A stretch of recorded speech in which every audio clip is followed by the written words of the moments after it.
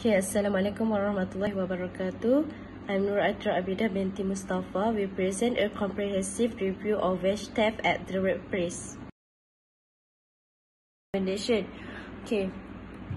For background, uh, this study uh, that's about into the transformative review of wage theft in the place uh, as a crime and punishment in Islamic law. Wage theft the, the illegal withholding of earned wage is a perspective it is a pervasive issue impacting workers across industries. Okay this comprehensive review examines uh, the various form of wage theft including unpaid overtime misclassification of employees as exempt minimum wage violation and tip discrepancies Okay, uh, the practice by an employer of not paying the proper wages to uh, uh, to a workers, especially through paying inordinately low salaries or failing to abide by employment law and regulations, which is cheating workers of holiday pay is wage theft. Okay, uh, for wage theft is numerous articles published in both business and academic journals emphasize the impact of wage theft on workers' livelihood uh, and broader economy. Okay, uh, this uh, paper also analyze existing legal framework and enforcement strategies for addressing wage theft and the review proposes recommendations for strengthening legal protections, improving enforcement and empowering workers to identify and combat wage theft. Problem. Problem 1 is the prevalence of wage theft, highlighting factors that contribute to the problem. Problem 2 issues impacting workers across industries. And problem 3 is examines the various forms of wage theft, including unpaid overtime, misclassification of employees as exempt, minimum wage violation, and tip discrepancies. For objective, uh, the uh, the wage theft is uh, to create to create awareness among in, irresponsible superior about the effects of wage theft on employees through the role of employers and agency in defending workers' rights. The second objective is um, uh, to employees are more motivated to work if these issues can be stopped. For the literature review, First is conception of workplace wage theft.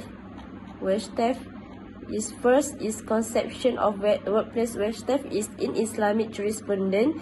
Wage theft is viewed as a grave injustice and uh, an evaluation of both ethical and legal principles. Islamic teachings emphasize the importance of fulfilling, fulfilling contracts and treating workers with fairness and respect. The Quran and Hadith stress the importance of just treatment of workers, the Quran states, O you who has believed fulfill all contracts. Surah Al-Ma'idah. Ayah 1. Okay, uh, this includes uh, employment contracts obligating employer employers to pay agreed upon wage promptly. One of the key hadith saying of the Prophet Muhammad, peace be upon him, on this matter is give the worker his wage before his red price. Okay, for methodology, I use for bibliometry analysis of wage theft. Okay, this type of analysis involves the quantitative analysis of scholarly publications such as articles, books and conference papers in order to examine uh, patterns, relationship and trend which within a specific file to st of study. In the context of theft, bibliometry analysis can be employed by to systematically assess and analyze the body of literature on this subject matter.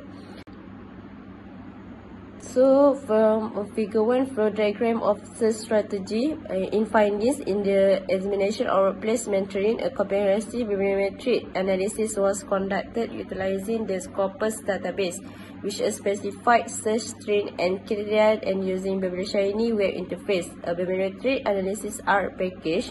The search conducted on 5th May 2024 focuses on article published between 2017 and 2024, written in English and foreign written the subject areas of social science, business, or psychology. The search string comprises keywords related to wage theft and workplace.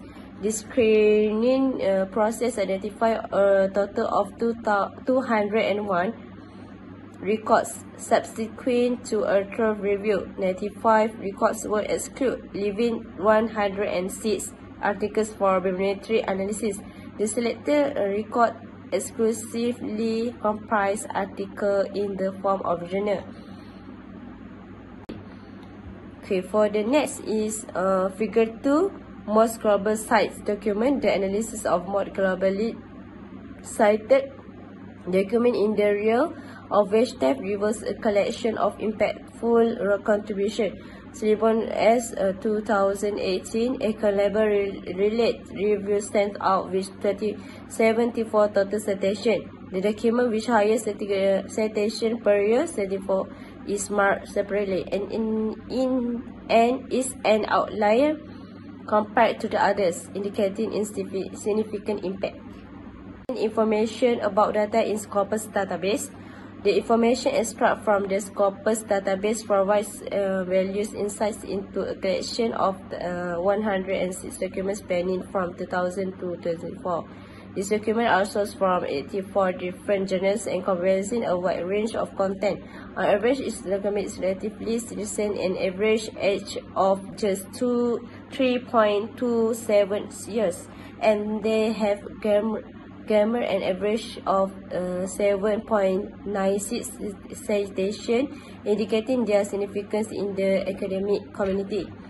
Okay, for table 2, average citation per year, as we can see, the mean or total citation per article uh, data from 2017 until to 2024 with three significant strengths. Firstly, there is noteworthy increase in mean 16.17 in 2017 to 14.17 in 2018, indicating a surge in the citation impact of workplace waste type research during the, this period.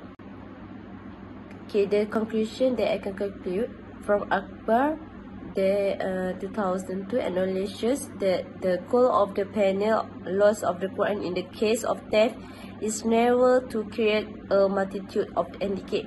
On the contrary, it is to create and make possible it's a situation wherein nobody is robbed of one's possessions. Islamic law in Sharia provides mechanism for redressing grave waste, including those related to wage theft. Workers have to have the right to seek justice uh, through appropriate uh, legal channels if their wage are withheld unjustly. Okay, for the recommendation from the wage is understanding regarding the responsibilities of employers and employees towards each other when they enter in an employment contract. Okay, second is employer must commit to ethical practices and timely payment of wages where agencies must enforce labor laws and support affected workers. Together, they can create a fair and just work environment that uphold the right and dignity of all workers. That's all from me. Thank you.